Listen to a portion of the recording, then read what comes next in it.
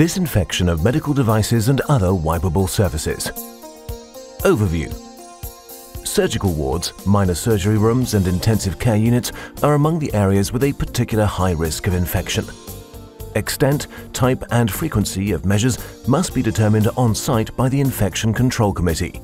Disinfection of surfaces with frequent hand and skin contact, Category 1B, must be treated according to the recommendation on surface hygiene in hospitals as well as floors. Category 2. At least one disinfectant cleaning per patient change is to be performed for all surfaces and fixtures. Contaminated surfaces. Many visible and invisible dangers surround us in our daily clinical practice.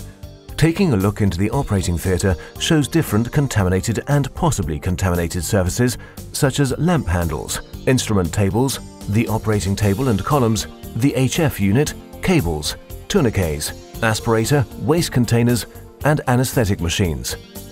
After completing the disinfection, the operating theatre must be prepared for the next intervention,